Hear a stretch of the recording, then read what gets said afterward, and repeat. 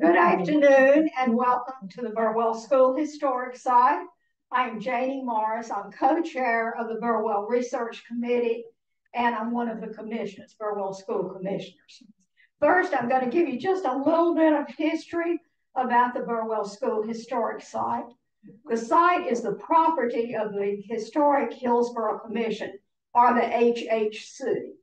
The Historic Hillsborough Commission is a nonprofit organization established by the North Carolina General Assembly in 1963.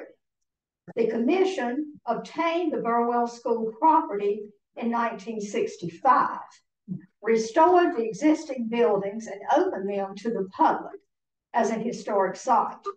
This year, we're celebrating the 60th anniversary of the Historic Hillsborough Commission. The commission members or commissioners are appointed by the North Carolina governor. For 20 years, from 1837 until 1857, Burwell was a school for approximately 200 young white women and run and managed by Reverend Robert Burwell and his wife, Margaret Anna Burwell. Over the years and since the opening to the public, a tremendous amount of research has gone into compiling information about the lives of the young women who attended school, based in, in part uh, on the diaries and the letters of Margaret Anna Burwell. This research was spearheaded by Dr. Mary Claire Engstrom, without whom this, site, the Burwell School Historic Site, would definitely not exist. The research resulted in the work, The Book of Burwell Students, published in 2007. And since the publication of the book, many members of the research committee over the years have continued to research the students not all of the students are found in the book of Burwell students, and we have been able to discover more. In addition to research about the students, in 2018, a study was undertaken to learn more about the enslaved and free people who worked at the school.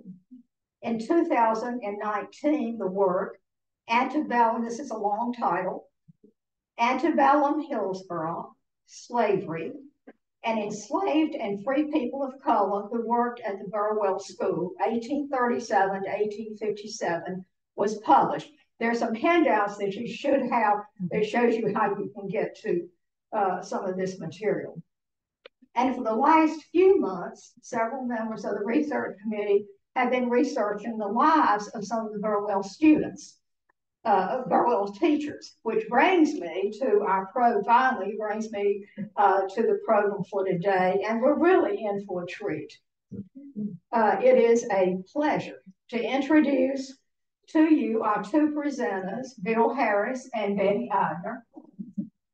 Bill is a relative newcomer to the commission, but one would know it by all of the work he has done for the research committee. He's always willing to help out, volunteer for committee projects, and bring valuable insights to committee discussions.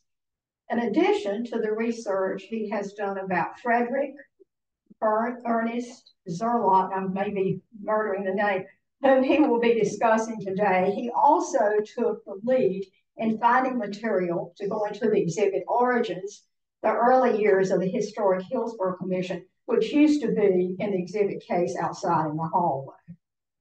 Um, he has also been involved in other local community activities since he and his wife uh, moved to Hillsborough a few years ago, uh, retired to, to Hillsborough a few years ago. It is interesting to note that his mother-in-law was once a Burwell commissioner. Well, I really can't say that Betty is a newcomer to the commission. she has been a commissioner, chaired the commission, and many Burwell galas, uh, which is our annual fundraiser. and is currently a Burwell Research Committee volunteer extraordinaire. She's a crackerjack researcher and will leave no stone unturned until she has exhausted all resources about the person or topic she is researching. I have had the pleasure over the years to work with Betty, and uh, two adjectives completely come to mind amazing and awesome. she entered, she um, retired from teaching uh, school at Orange High School several years ago. Over the years, she has been involved with many community projects and activities. Currently, she is on the board of directors of the Preservation Fund of Hillsborough and is a member of the Hillsborough Signage Committee. Those are just the ones that I know about. There may be others that I have no idea about. she will be discussing Burwell teacher Dr. Rudolph Vanfield today. Let's give them a warm welcome.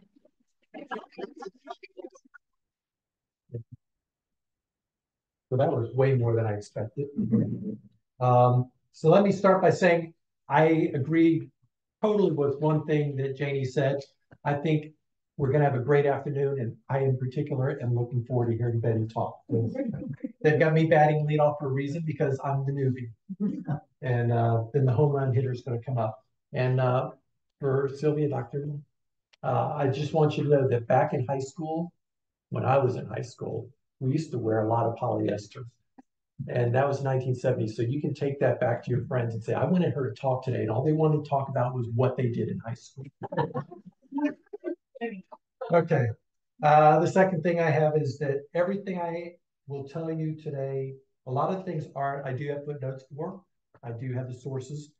But as a lot of you are better researchers than I, you know that for some of these obscure historical figures, you can't find tons of information or, or answer every question that comes to mind. And I will tell you that every piece of information I found led me to like three other questions for which I couldn't find any answers. Mm-hmm. So what I've tried to do is take the information I have and piece together a coherent story of what I think happened to this gentleman in his life. And I've just recognized at the end, I jotted down eight or nine or 10 questions that I'll let you know of things that were of interest to me, but I just couldn't find any information at all. Okay, so this guy, uh, Frederick Ernst Zerlatt, he's an interesting character. He was a whole lot easier to research once we got his name right. Originally, I was asked to uh, look for research a major Frederick E. Terlant, T E R L A N T. Other than the advertisement in the local papers that you know, Major Terlant was going to be teaching at Burwell School, I couldn't find anything. I was like, this guy just doesn't exist. Our researcher par excellence, Betty comes back, well, that's because you're looking for the wrong person. His name is Zerlatt or Zerlatt, Z-E-R-R-L-A-U-T. And when I did that, man, it was amazing the stuff I found. So my first my first piece of advice when you're researching, make sure you know what you're researching and looking for.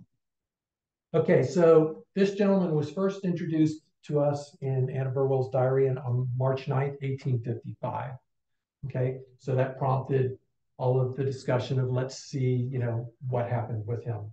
And I thought of a number of ways of approaching this, and I'm not really sure still yet what the best way is. So what I'm going to do is start chronologically and just work through his life and tell you what things I absolutely know and what things I think are true based off of the information I found. Because there's one place I'm going to make a huge leap, and it'll still be interesting to see what you all think. Um, I did all the normal research engines. The other thing I found that's interesting is not all these research engines are created equal. Some of them have more information than others. I don't know why newspapers.com and newspapersrus.com can't have all the same stuff, but they don't. Uh, I don't understand why archives.com and the National Archives for the federal government don't have all the same information. I mean, it just, it was very frustrating to me. The two most interesting things, though, that I did in terms of my research uh, for Zerlatt was number one, I found that he had a connection with a school in Maryland in 1837 that we'll talk about.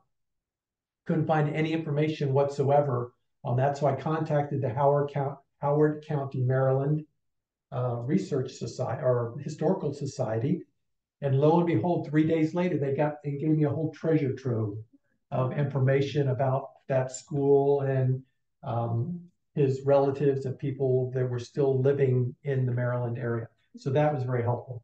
The second thing that I did that was not helpful at all, but I think is interesting, is I found him on Ancestry.com and I was able to contact his great great grandson, um, who was very kind to say, Yeah, we're really interested, but we don't know anything about this. you know, if you find out anything, let us know. You know, um, so I thought that was interesting. Okay, let's start. Uh, Frederick Zerlot was born in 1807 in Strasbourg, France. Uh, he was a Polish, yes, he's Polish. But as you, if you know, if you start looking at um, European history, and I will tell you, I am not a European historian in any way, shape, or form. But I know that Strasbourg, in particular, is a city that is is straddling the French-German border and has changed changed allegiances a number of times uh, between French and German. I also know that Pol- there was not a separate Poland uh, in 1807 when he was born. Between it's what 1795 and I think it was like 1817, I think, or 1819, something like that. I read Poland, the Polish area was split between Prussia, Russia, and the Habsburg Empire. So it's changed hands a number of times and kind of fluid, I guess, between the movement of the people. We don't know much about his early life other than he was born there. The next time I found any reference to him was that he was a graduate of the University of Heidelberg. I found that through an advertisement in the 1840s where he um, was advertised as going to be a teacher at a school in Kentucky. And it said he was a graduate of the University of Heidelberg. Now, I went and looked at the University of Heidelberg site that lists supposedly they say we believe that this is a comprehensive list. Mm-hmm. And he was not listed there.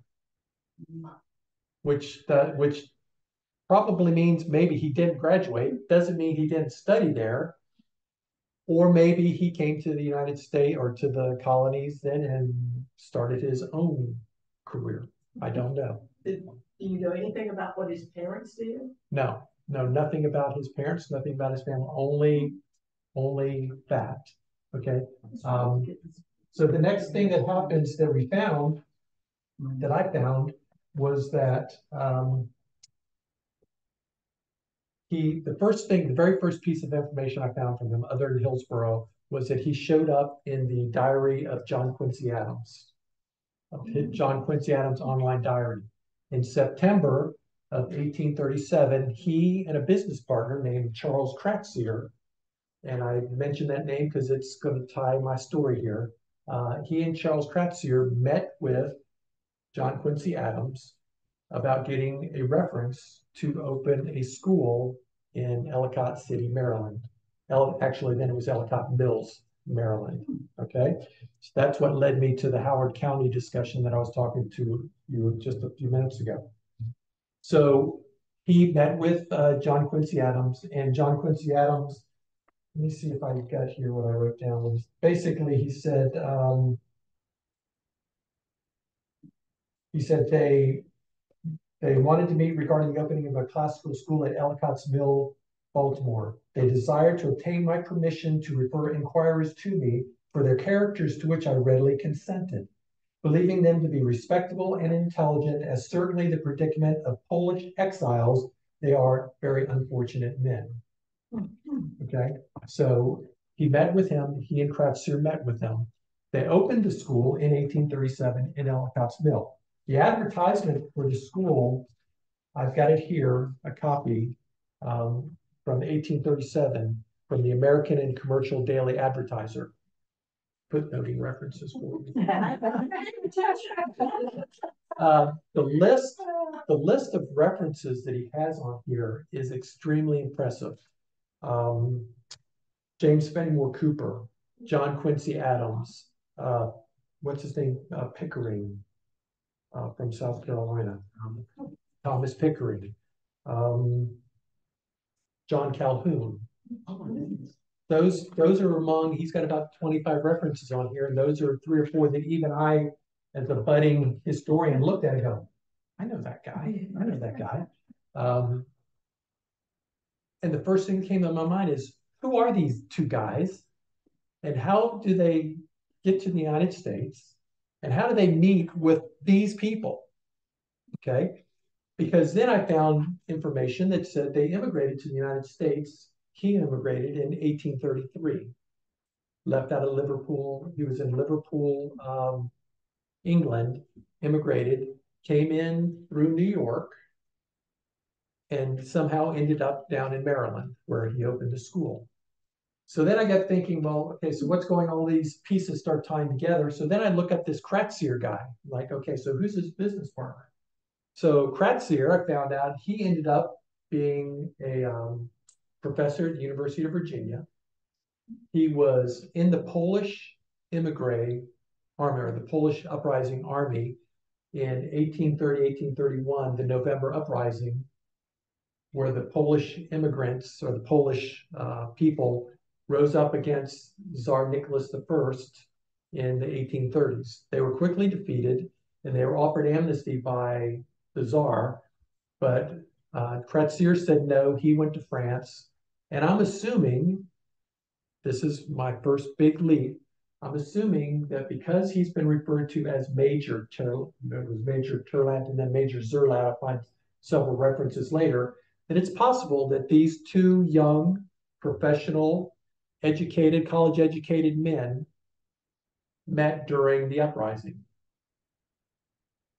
I know Kraitsir was in the uprising because he was awarded, I forget the name of it, I've got it written down somewhere, whatever that the uh, Polish Medal of Honor is. He was awarded the Polish Libere de Metal, whatever medal. Um, so I know he was there. And I know he declined the amnesty that was offered by Tsar Nicholas. And I'm making the leap now that um, or Zerlat also was part of that revolution, given his background and everything. He went to Liverpool, coincidentally, at the same time that all of these people turning down the amnesty were.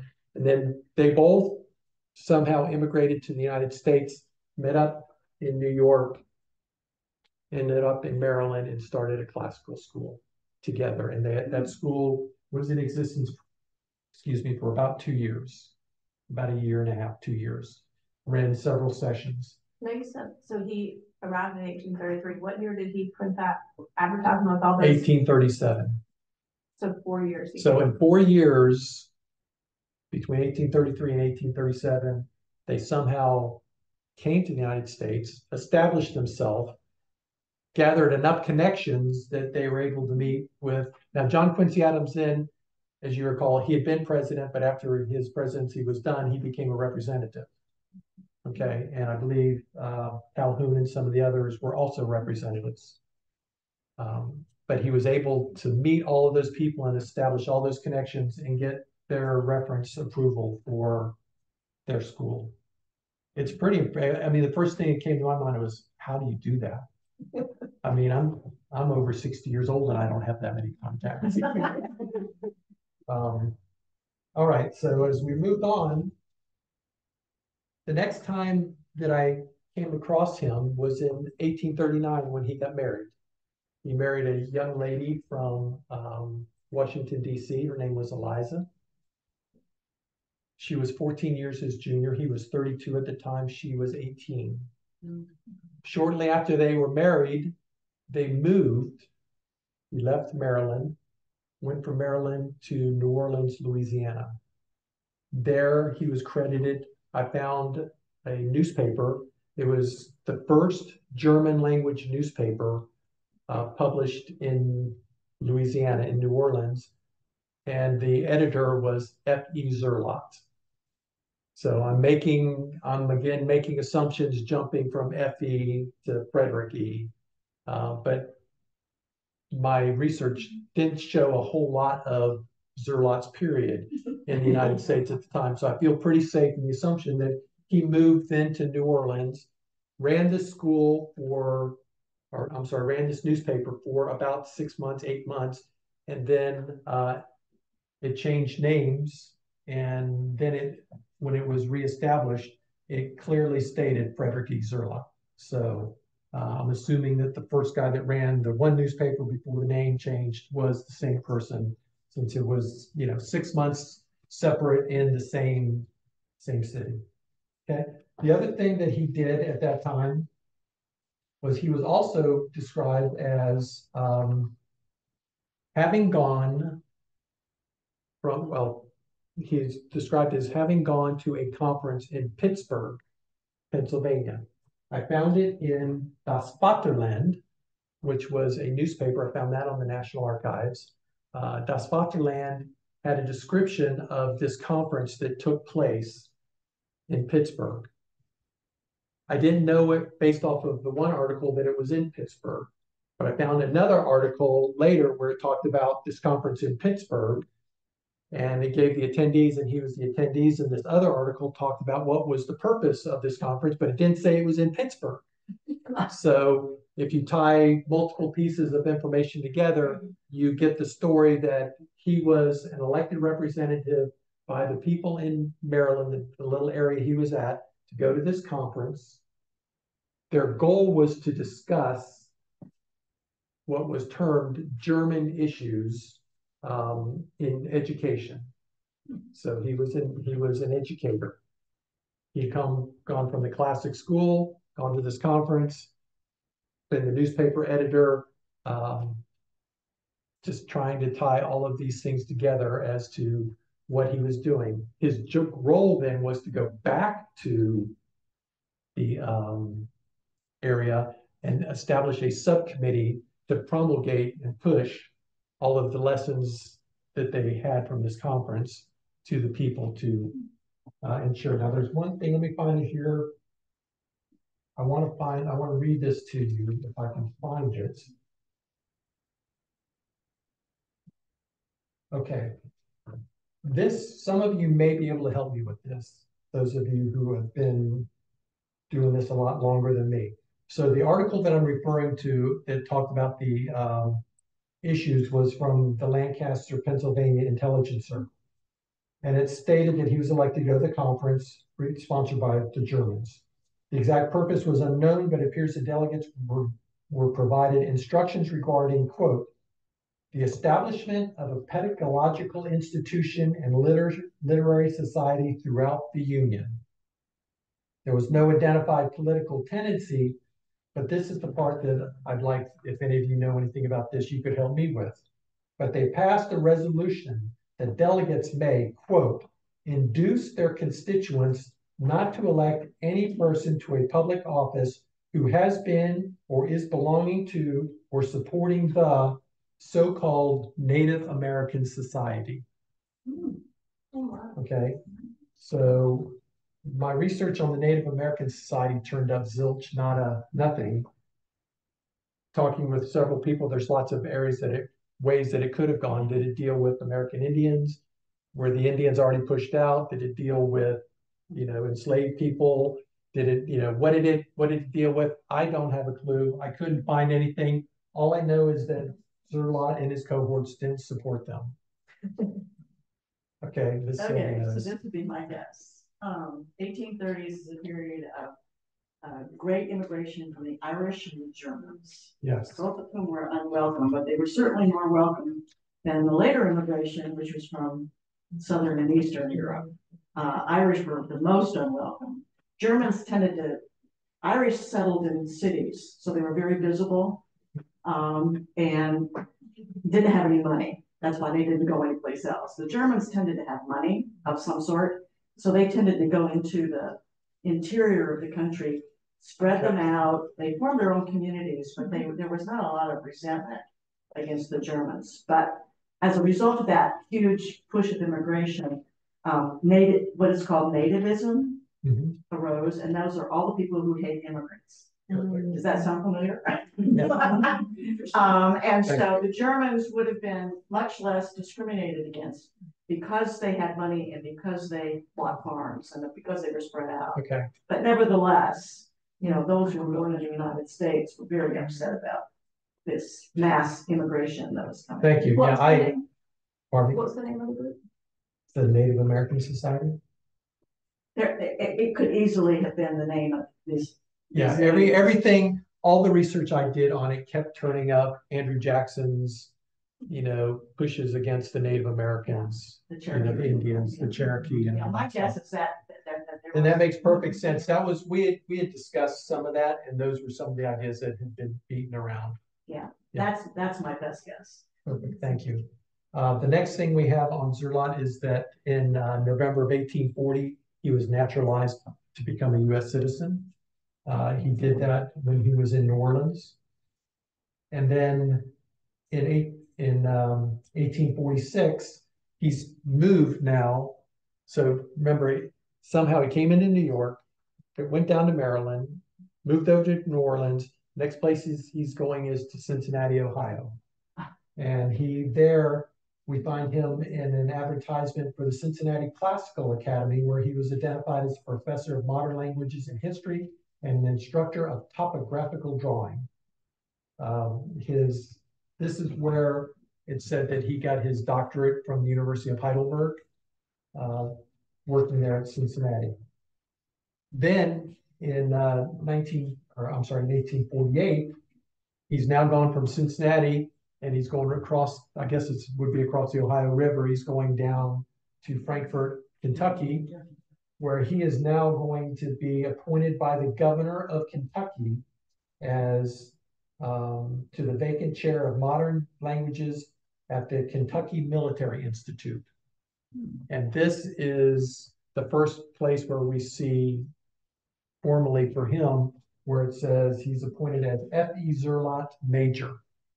So now this causes me another concern that I couldn't find. I had already gone with the assumption before that he had been part of the November uprising, that he had met Kraitsir, and he that's probably how we knew each other, and that's maybe where the name the terminology of major came from.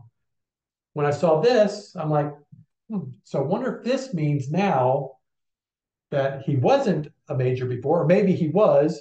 Now the governor's appointing him to this military school, and because of his position as a chair, he gets the title of major. And that's another possibility. Or maybe they gave him the title of major because he had been a major before. And, you know, so this is one of the shining examples for me of every piece of information I found opened up more questions for which I simply could find no answers, uh, some of them. After, um, well, while he was in Frankfort at the, um, military academy, his only child, Edmund, was born in August of eighteen fifty-one. Uh, if- as you recall, his wife was fourteen years his junior, and now she's well into her thirties. He's he, he's what, forty-four? He's forty-four, so she's thirty-two, uh, when they have their first and only child, Edmund. The only, next time we'll see Edmund is when, uh, we see his mother. They appear on the census and her, his mother is living with him.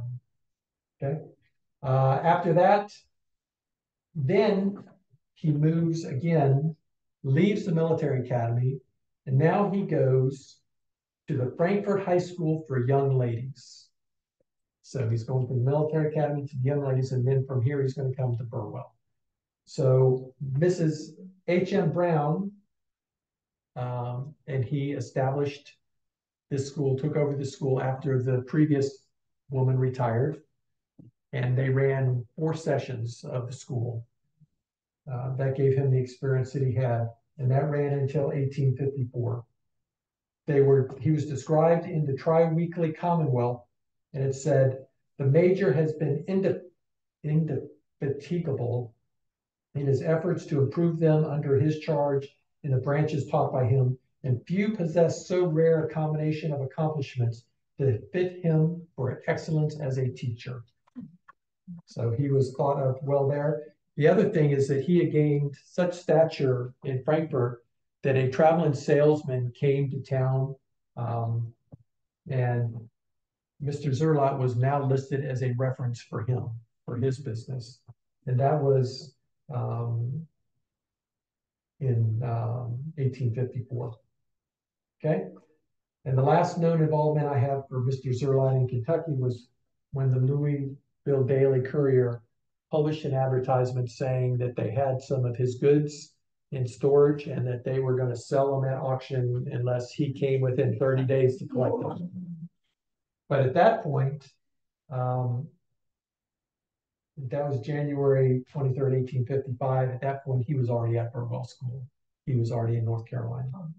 So the first, the first recording of him here was in eighteen fifty-four on June seventh. The Hillsborough Reporter had a Major Frederick Turlant, the previous wrong name, listed as a teacher for the upcoming session to teach modern languages at the all-female Burwell School.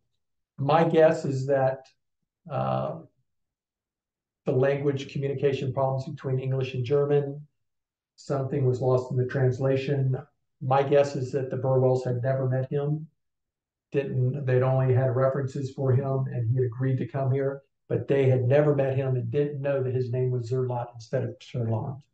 And that was backed up when, um, after he showed up, there was another advertisement in the Fayetteville Observer and the Atlantic, which was out of New Bern, that said, um, it had been changed miscommunications and that his name was actually Zerlot, not Terlot. And that was publicly uh, broadcast in the newspaper to make that change. I know that he appeared at least one more time. So I know Zerlot did at least two sessions here. Um, he did the one when he came in June of 1854, and then again in January of 1855. He did that following session, taught the same courses. Um, got the list here. It's it's pretty cheap actually by today's standards. Music or on piano or guitar, 20 bucks. Uh, you can rent an instrument for five bucks for the semester.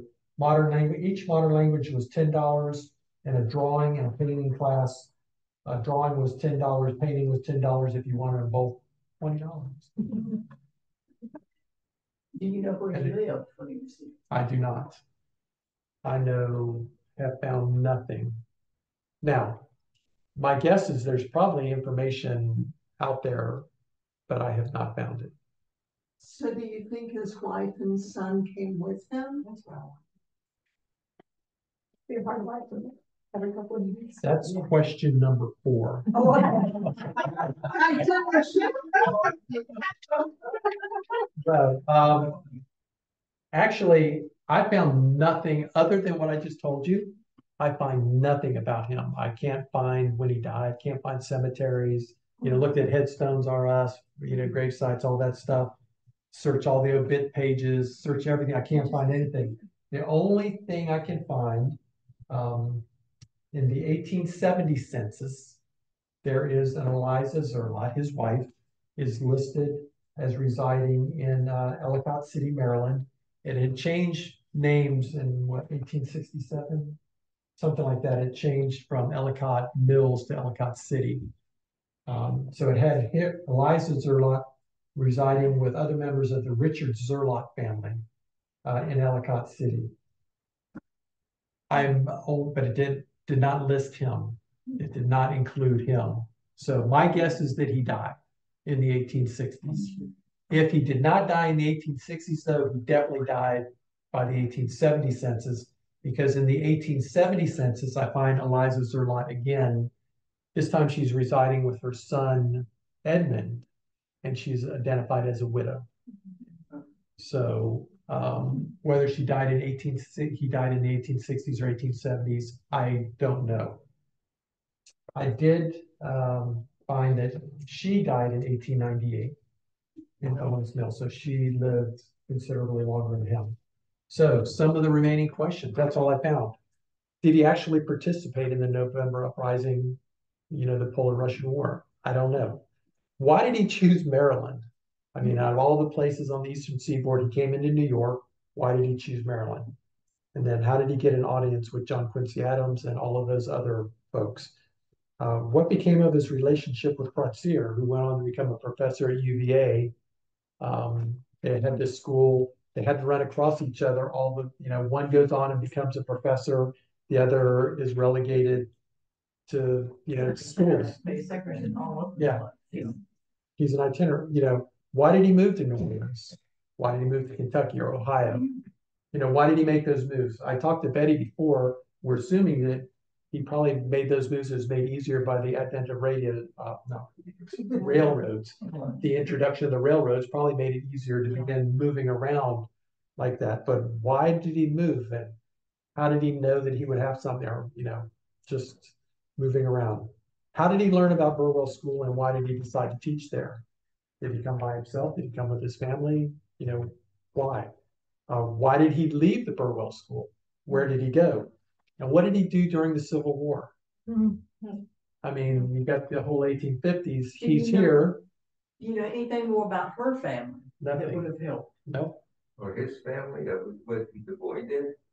I No. didn't. I didn't do a lot of research into his son, but no, But he didn't have any other members of his family that came over here with him. no, not that I can find.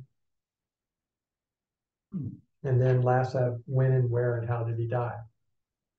You know, the um, the Civil War thing is intriguing to me because if you think about the areas where he had been, Louisiana was strong Southern Confederate state, North Carolina was was a Confederate state, but kind of wishy-washy sometimes. And Kentucky's on. Kentucky's on the border. They went both ways, although they stayed in the Union. Maryland was a Union state, although they had some Confederate sympathies. You know, so, you know, there's just so many up, and then Ohio, he was in Ohio, that was a strong Union. But he Yeah, had- state. he was a major at some point, they must have maybe tried to get him.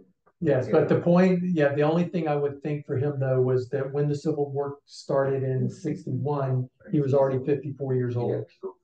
Yeah. He was, he was pretty long in the tooth by standards, and but by the end of the war, they were taking almost anything that would walk, Yeah. you know, but they're just interesting questions. So that is all that I found. If anybody's got any questions, I can try to answer them, but kind of what you see is what you get at this point. Yes, ma'am. Do we know why his first classical school lasted over a year and a half? Yeah. Well, you know, it's interesting. I do not know that. Um, it was a question that I had, but I couldn't find anything. But as I found more and more um, about him, he didn't stay more than a year or two years anywhere. So, you know, the the the real pessimist in me saying there's something wrong with this guy. Or, or maybe, maybe he just had that wanderlust that he just always wanted to, to get out and go. But I mean, he stayed at that school for like a year, year and a half. He stayed at Burwell for a year. He stayed at the Kentucky um, school for two years. He stayed, he stayed at the Cincinnati School for Girls for two years.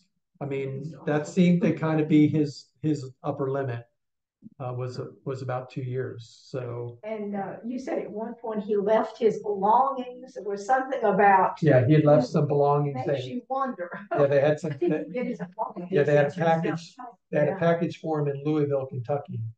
Um, that he had thirty days to, Was that a girls' school? no, oh, in Louisville? Yeah, that was the girls' school. Thanks for wondering that. I don't know. Okay. Okay, all right, thank you.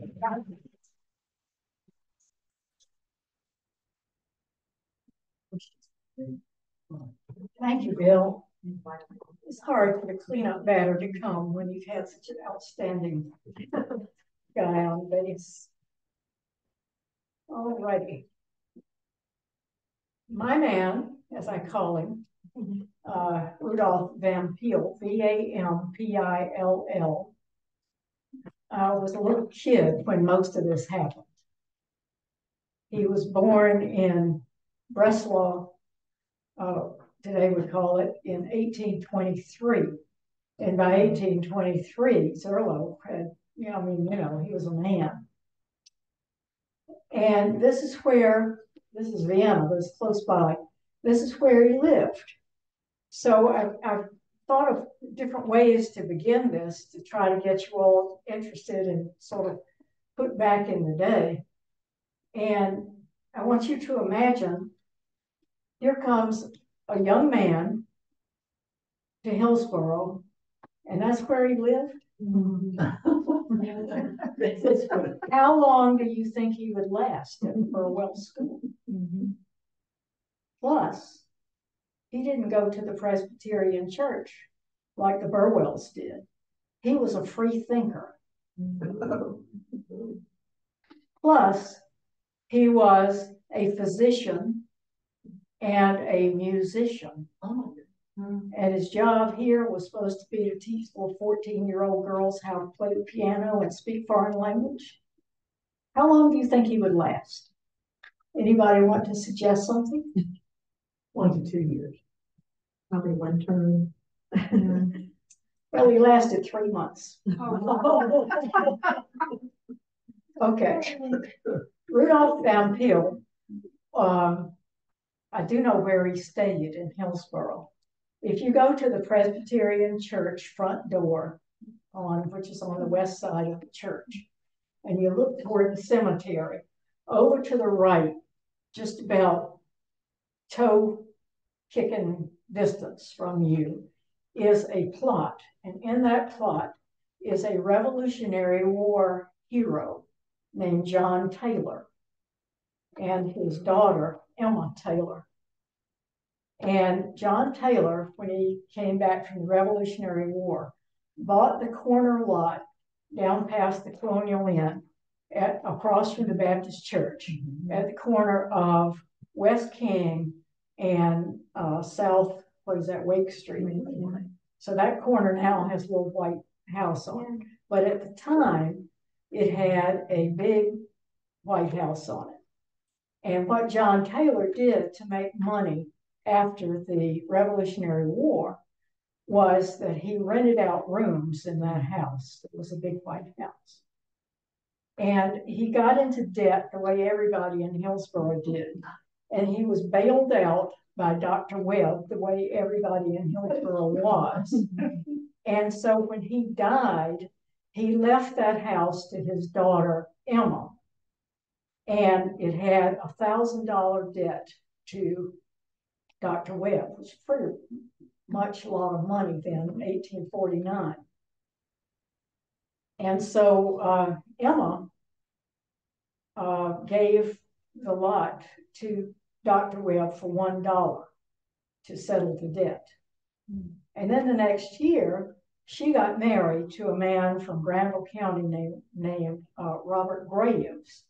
And Robert Graves was a school teacher of math and physics at the uh, Caldwell Institute. And he had some money because his family owned farmland in Granville County. And so he paid back Dr. Uh, Webb the $1,000 and got the house back again. And so he and Emma lived there with their children, but they also rented rooms out. And because of his connection to the boys' schools in Hillsborough, they rented out rooms to boys. So when my man Vampill came to Hillsborough, uh, Mrs. Burwell went down and talked to Emma Taylor and said, Would you rent me a room for uh, Rudolph Vampill? So that's where he lived. And that may be where Zerla lived too, uh, because they did rent out rooms there before then. At the same time, uh, in Hillsboro, there was the train came through, and this train station in West Hillsboro, close to Hillsborough Barbecue. And there was a travelogue written in the Fayetteville newspaper about somebody that was taking the train from Fayetteville to Greensboro. And the train stopped in Hillsboro and it looked really pretty. So he got off the train and he walked around town like a visitor. And he described what Hillsboro looked like and what the big houses were and so on. And every big house in Hillsboro that you see today was on his list on this travelogue. Mm-hmm. Of, and he wrote down who lived there and so on. And made his little little going from the train station to King Street to out to uh, Ayr Mount, back up here to the Burwell School, back to West Hillsboro, climbed the mountain, looked around just like you do today, came back down, walked back to uh, basically the library where the Nash law office was, and then back to the hotel and had his supper and then got on the train and left. Yes, So what year was that, Betty? 1855. Okay. And the only big house in Hillsborough that was not here then was the house across from the Episcopal Church where um, Cooper Harris lives now. And at the time was being built by Thomas Hill in a new modern tradition. That's why it looks different from all the rest of them, because it was new and modern. Italian. Italian, yeah, okay. All right.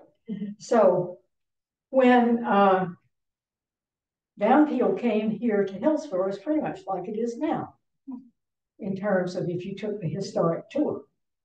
And this is where he was from. So let me see if I can get you from Vienna to Hillsborough and then tell you what happened. So he was born in 1823. Uh, he lived in the city.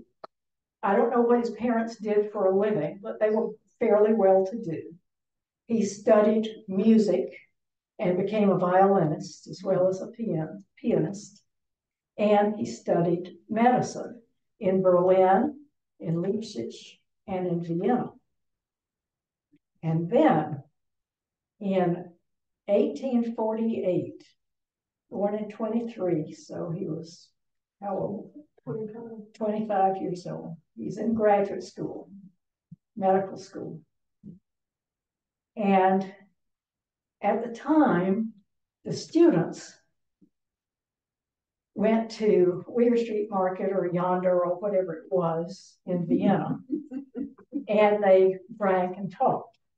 And the student got up and said, We need to be independent. We need for 12 things to happen. And he named these 12 things, of which I don't remember but a few freedom of the press, freedom of speech, get rid of serfdom, have equal taxation for the wealthy, have independent elected Congress, have people of every group, Polish, German, Hungarian, representing in this Congress. Went on and on, firebrand speech.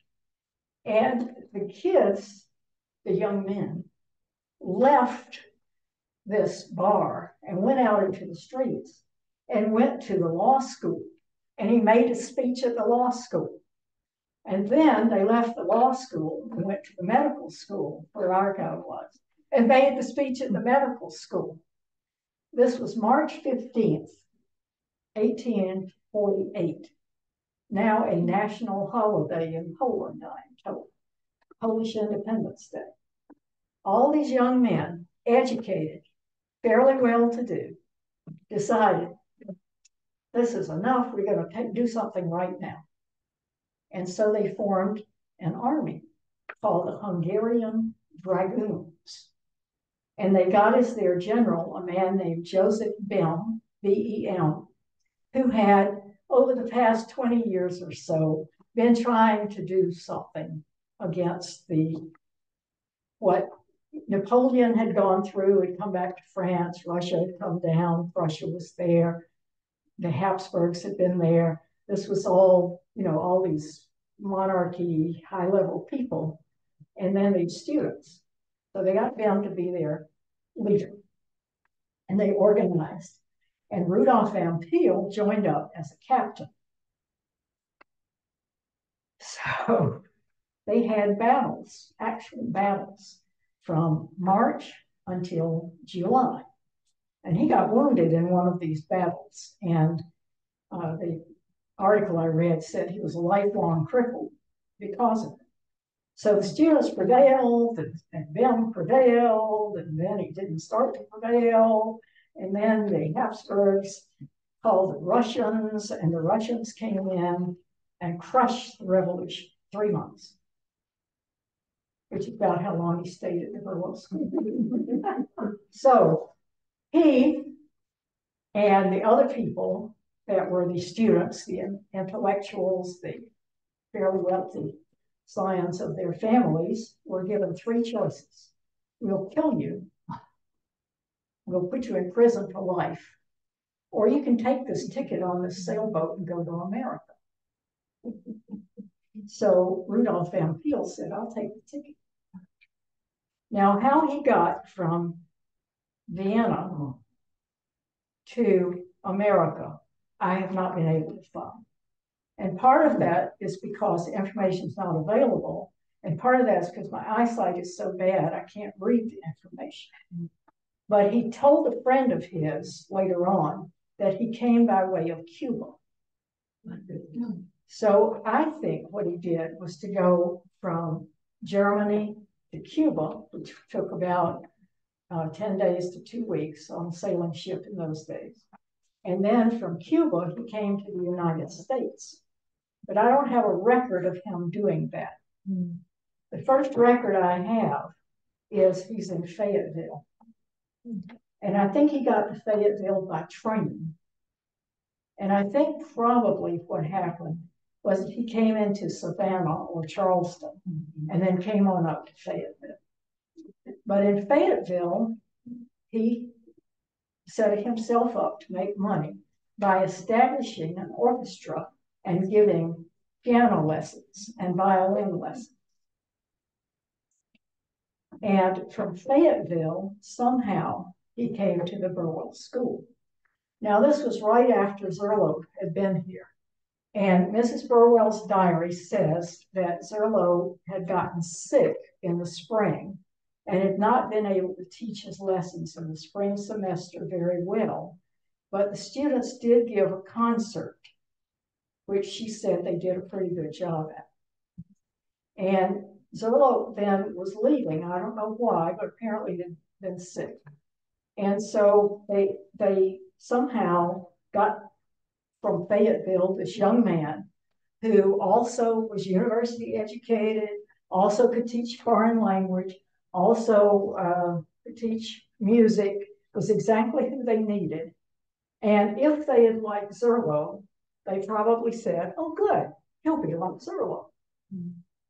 But anyway, they hired him. He was in his 20s. He, uh, well, his 30s by then. And uh, he came in, and one of the first things he did after he moved into Mr. Graves' establishment was walk up here with his violin and give a concert after supper. So everybody had supper together at the Burwell School, and he gave his concert. Then he had his girls to give a concert. And in Mrs. Burwell's diary, she says the concert was tolerable. and then the next thing we have in the diary was that Mrs. Burwell went to Mr. Gray's establishment and visited Mr. Vampill to see how he was doing. Everything seemed to be okay. But then the next thing that we have in the diary is that some girls at night, when Mrs. Burwell came around to check on how everybody was doing, complained that Mr. Vampill had spoken improperly to some of the girls. Now you can use your imagination. He's in his 30s. He's had this life the girls are at 14. Did he say to them, You've got a concert coming up, and if you don't practice more than you have been practicing, it's going to be a pretty shitty concert. Did he say to them, When your parents come to pick you up in November for Thanksgiving vacation, they want to hear you play, and it better be a lot better than this last concert? Or did he say, slide over on that piano bench, honey, and let me sit next to you? or did he say, I want you to sit up straight when you play the piano. Make your bosom into a lighthouse. I mean, we don't know who he said. but whatever he said, the girls thought it was improper. And they told Mrs. Burwell. And Mrs. Burwell told Reverend Mr. Burwell. Mm-hmm. And Reverend Mr. Burwell thought about it overnight. And the next day, he, after dinner, the next evening, told Mr. Vampill he wanted to see him a minute and told him his services were no longer needed. Mm-hmm. So you can imagine Mr. Vampill walking back to Mr. Graves, saying, I just got fired, taking, taking all this stuff, walking out to West Hillsboro, getting on the train and leaving. So that's what we know about that. You know where he is? No, there's more. I do know where. So he went to Tarboro, which is an unusual place to go because it's not a train in Tarboro. So he must have gone from Hillsboro to Fayetteville, Goldsboro to Rocky Mount, and then either walked or took a tram or something to Tarboro. And in Tarboro, he advertised himself as being a doctor, mm-hmm. and he set up a medical practice for just a little while. But he didn't seem to be well received there. So he decided, or somebody told him, or whatever, that he should get a US medical license, mm. not this fake German Vienna stuff. So he went to Baltimore, to the University of Baltimore, and he got a medical degree from the University of Baltimore Medical School. So he was set. Then he uh, went to South Carolina. Why? I don't know. I, in, in the, in the research, he didn't want to go back to Tarboro. In the research I did, it seemed that Baltimore was a center for German and mm-hmm. Polish immigrants at the time, just as Zorlo was there. Mm-hmm. And it may be in Baltimore, he communicated with people who said, mm-hmm. you should go to South Carolina because they need doctors in South Carolina. I don't know why, but he went to South Carolina and he met a young woman that he fell in love with. And they got married. I love this in Dillon, South Carolina. You Now- had to be sixteen. Yeah. So they're married and living there in, in South Carolina. Her name was Anna Jane Hargroves, and his, her parents were fairly wealthy farmers. They owned thousands of acres of land. And uh, he, uh, this is just before the Civil War, 1860. He went to a place that now is Mullins, South Carolina. And he bought a thousand acres of land. And he and her name was Anna Jane, but he called her Jane. He and Jane set up a farm. And what he supposed this young man knew how to grow. Right? But what did this young man enjoy doing? Drinking wine. So he planted six hundred acres of vineyards. He had twenty-five different varieties of grapes. And the area of Mullins is on the railroad. He shipped grapes to New York City.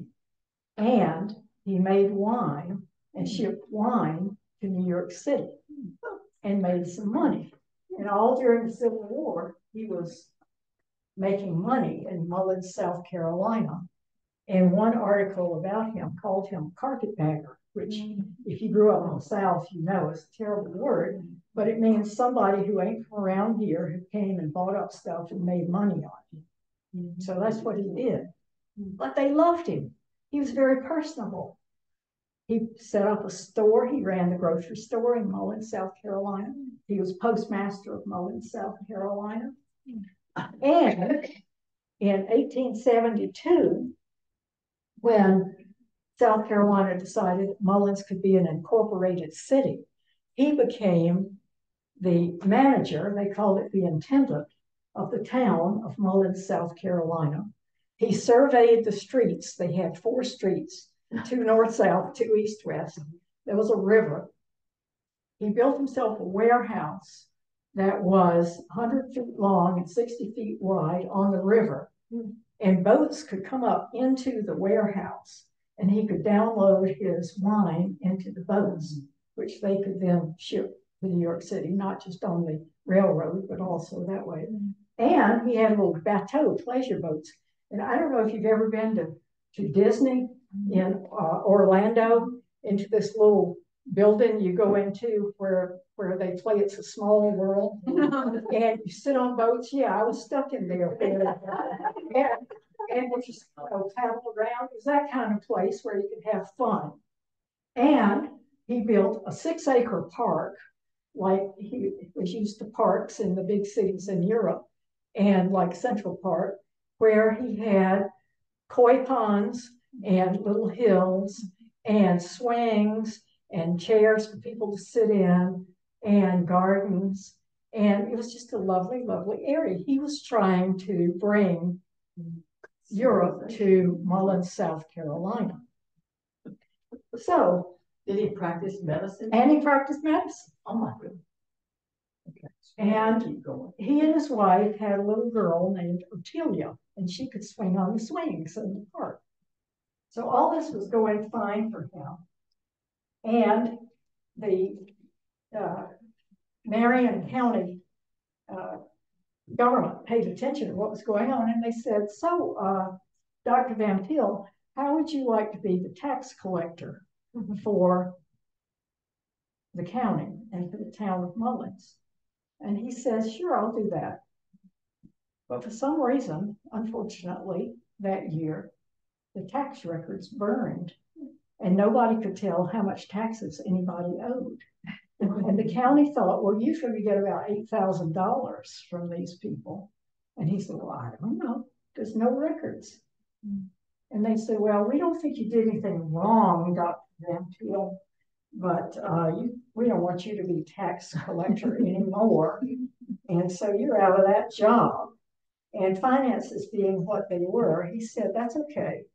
I'll go to Columbia and get a job in Columbia, South Carolina. So he did, and he got a job at the University of South Carolina teaching music. Because he loved music, played violin, yeah.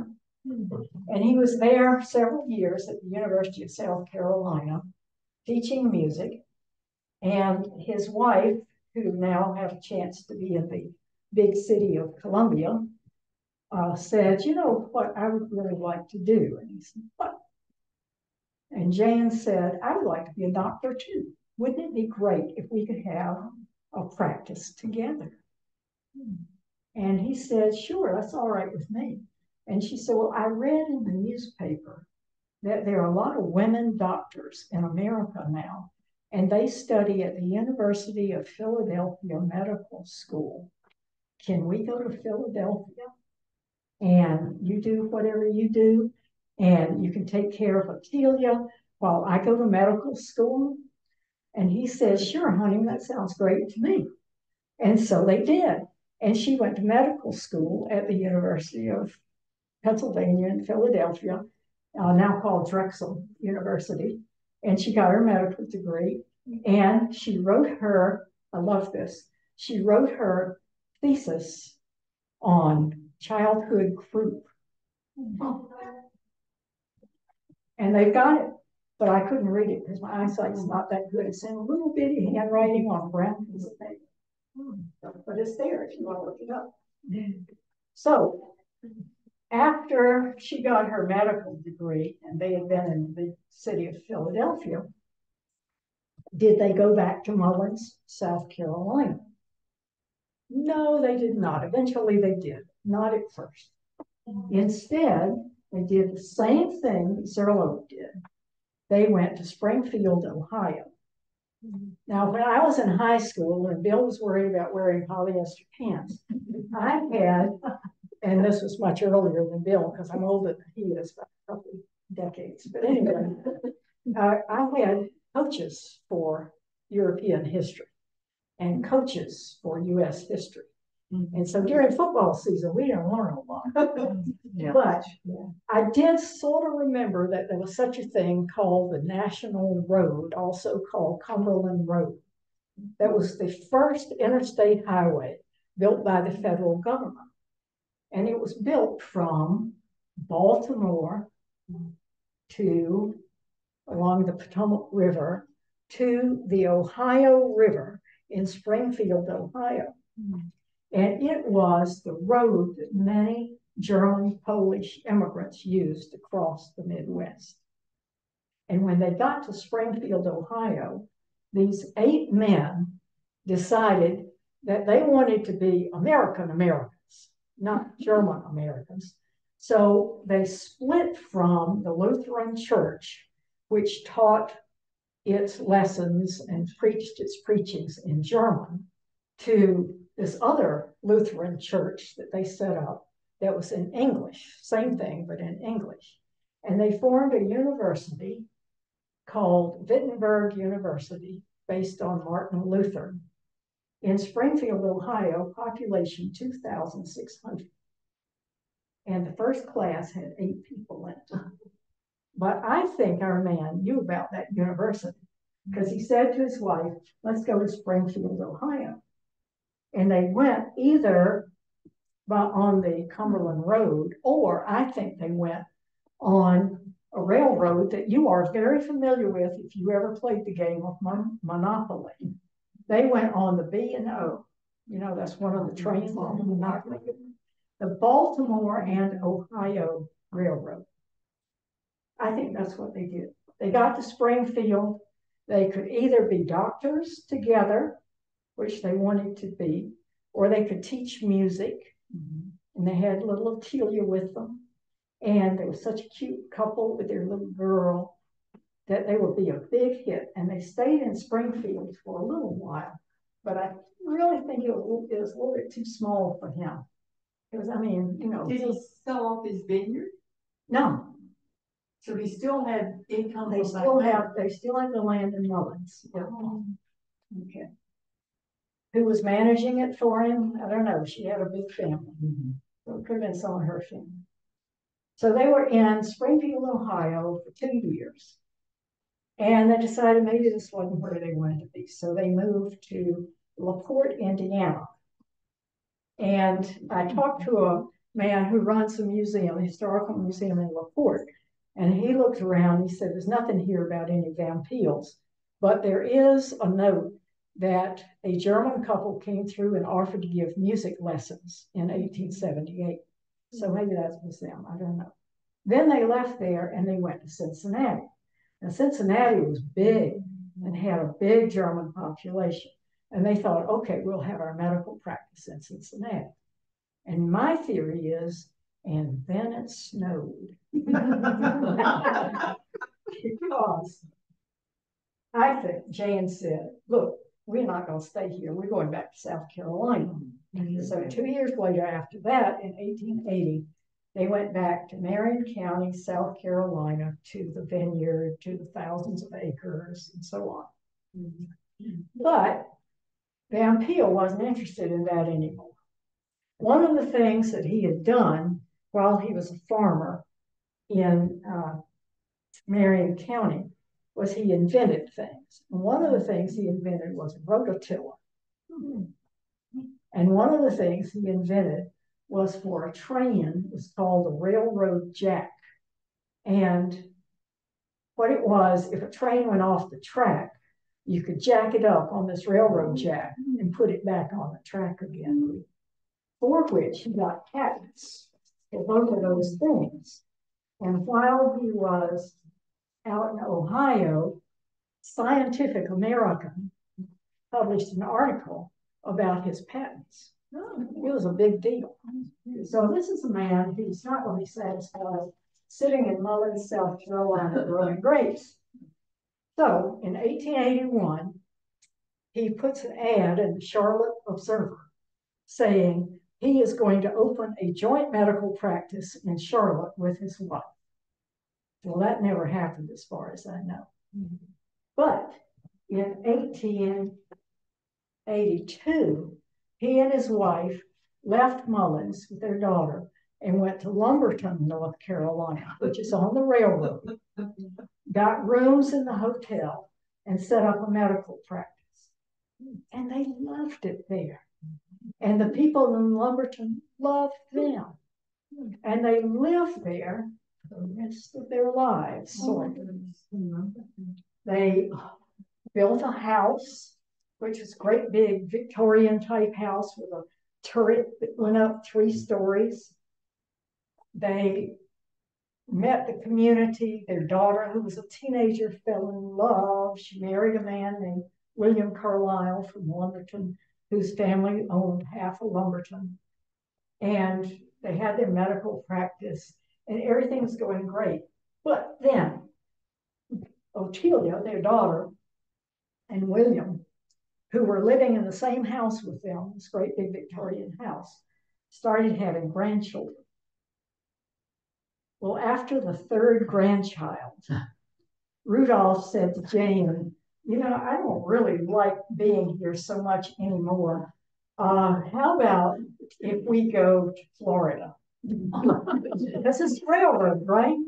So they get on the train in Lumberton, they go to Florida, get off in Jacksonville, and he gets a job teaching violin at the university in Jacksonville. And they stay in Jacksonville from 1889 to 1890. And then in 1891, she said, Well, what about medical practice? I want, I want to get back to being medical practice. And he said, Okay. So in 1891, they left Jacksonville and they moved to Savannah. And they set up a joint medical practice in Savannah. And it must be that the authorities said, okay, she's got a degree from Philadelphia and she grew up in South Carolina. You have a degree from Baltimore. Where did you grow up? You got any naturalization papers? Mm-hmm. Well, he didn't. So he had to go in Savannah in 1895 down to the port and get himself naturalization papers. So if you were just sort of, you know, la la, I'm looking up Vampill, when did he come to America? It looks like he came in 1895, but that's not true. That's just when the paperwork was done. So they stayed in Savannah for a few years. And then in 1893, Otelia said, Mama, I wish you would really come back to Lumberton. I've got these uh, four children now, and it would be really nice if you could help me out. And so Mama said, okay, we'll do that. So they went back to Lumberton. And Vampill said, I cannot stand it with all these children. I'm going to buy this house across the street and renovate it Mm-hmm. into an opera house. Mm-hmm. And so he did. And he gutted the building except for one apartment, which was his apartment where he had an office and he could live in there all by himself if he wanted to. And the rest of it was this huge building that had a blue ceiling, golden stars painted on the ceiling, and a stage with oh, curtains and seats. There were just chairs like these for 500 people. Wow. And it was right on the railroad, and people coming from New York to Florida or Florida to New York could stop in Lumberton, the scenic city, and go to the performances. It would be like having DPAC in the city. and I know all of this because there was a man at UNC who did his PhD on the Opera House. And his question was Could Lumbee Indians go to the Opera House? And the answer was no, they couldn't. But this is what the Opera House was like. So he had all this information. So is the Opera House still there, the house that they moved from? Those houses, are they still in Lumberton? They were up until about the 1950s. And then Lumberton decided to do a um, Renovation. renovation. So they're not there anymore, but there are pictures. So uh, he he had acts that came from all over. He had a regular act of the orphans at Oxford Orphanage Chorus, would come down to Lumberton and sing at the Opera House. And he had people that come by train from Virginia and Maryland, wherever, and play music at the Opera House. I mean, it was it was a big deal. And then when movies came along, he set up a movie projector and he showed movies at the Opera House. This this is you know up and coming. And he at last, after all these years, was happy. And then his wife died. And his daughter and son-in-law kept having more children. And so he moved over into his room in the opera house and said, you guys take the house and the, the big house, and I'm gonna live over here. And he lived over there um, for another four years. And in nineteen oh seven, he died. And the night before he died, the neighbors reported they could hear him playing his violin in his room in the. And then his daughter had two more children. And she decided when the oldest one was a teenager that she was going to go to Mullins, South Carolina and show them where she grew up, where she mm-hmm. used to live. Mm-hmm. And so I found a wonderful, wonderful interview with her in the Mullins, South Carolina newspaper, mm-hmm. telling all of this stuff. And then the grandchildren grew up, and there are two of them in NCpedia, which is the Eastern North Carolina Wikipedia, encyclopedia, whatever. And one of them was a young woman who never married, who became a very well-known um, missionary. And the other one was a congressman that represented Eastern North Carolina. So Vampill only lasted here three months. But he did a lot of stuff. How many children were there at all? Seven, Grandchildren. seven grandchildren. And then there's a whole passel of great grandchildren. And like Bill, I tried to contact them and uh, I sort of gave up because they were not responding to me. But also, I'm sort of glad they didn't contact me back because what did I say? Uh, I'm going to talk about your granddaddy that got fired at Burwell's. Thanks. Thank you so much. This was just thoroughly enjoyable. Who says that storytelling is passe and is gone forever? I mean, y'all are doing that. Um, and we invite you to stay for refreshments. Please have yourself to some refreshments. But before we break for refreshments, I would like to tell you some exciting news we learned a few days ago. We learned the Burwell School Historic Site has been awarded the IMLS Inspire Grant for small museums for continuation of the comic book project. Uh, which and behind in the uh, table uh, back of you, uh, there is a couple of uh, comic books. We have written two comic books, and these are based on um, Orange County people who have been an inspiration. The comic books are targeted toward fifth graders, um, and we're hoping the sort of the theme is they did it, you can too. Mm-hmm. And so uh, we're real excited. The grant will give us the opportunity to write four more comic books. And uh, so we're excited about that. And the comics will fulfill part of the Burwell's mission, which is to celebrate and promote the culture and heritage of Hillsborough and Orange County. And Emma Badney, who is a site manager at Burwell, and our own Betty uh, will oversee the grants management. So anyhow, we're excited about that. So please help yourself